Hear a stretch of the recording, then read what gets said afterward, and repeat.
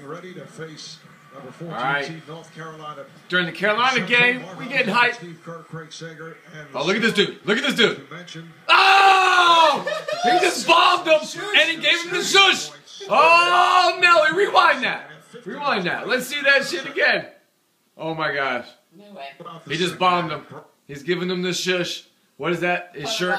His shirt's just bombing Duke because Duke lost today. During the Carolina game, this dude's on fire right here. Oh, fuck Duke!